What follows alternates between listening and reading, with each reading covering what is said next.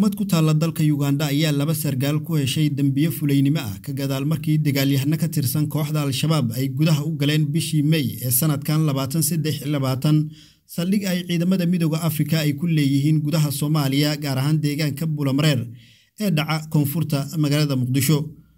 Kornel dio akiki iyo major john aluka ayaa baxsaday kadib markii al-shabaab ay weerar ku ekeeyeen deegaanka bulamareer ee koonfurta magaalada muqdisho ugu yaraan konton askari oo ka tirsan ciidamada yuganda ayaa la dilay sida ay saraakiishu sheegeen islamarkaana tirakoobkoodii hore ay ku tilmaameen.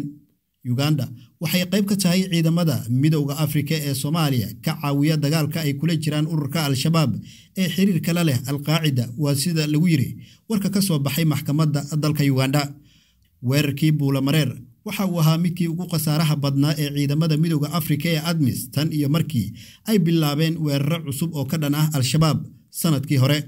Madaxweynaha dalka yuganda yuweri kaguta musafari ayaa ku dhaleeceeyey ciidamadiisa jawaabta ay ka bixiyeen weerarka ay soo qaadeen kooxda al-shabaab ee kontonka askari lagu dilay.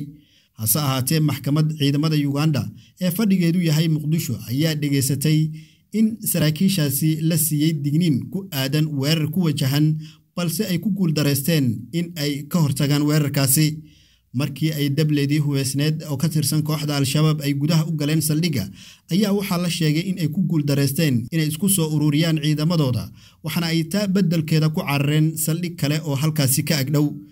Balse labada sargaal ayaa shaqada laga rusqeeyey islamarkaana ugu dambeyn dembiyo fulaynimo ah lagu helay balse docda kale afar saraakiil xigeen ayaa sidoo kale lagu helay dembi ah in ay ilaalin waayeen agabka ciidamada. Ciidamada midowda afrika oo gaaraya sagaal iyo toban kun oo askari ayaa loo soo diray soomaaliya sannadkii laba kun iyo toddobadii waxaana ay gacan ka geysteen in al-shabaab laga saaro magaalooyin badan oo muqdisho qayb ay ka tahay.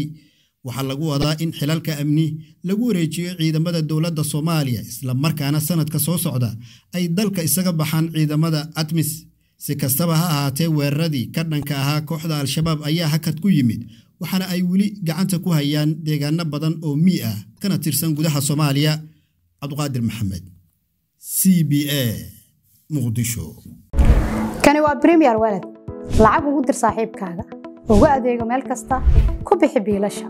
U dir hana lagaaga soo diro meel walba. Ka maamulo akoonkaaga iyo kaarkaaga bremiyer bank. La soo deg maanta oo ku maaree kuna horumari noloshaada dhaqaale bremiyer waled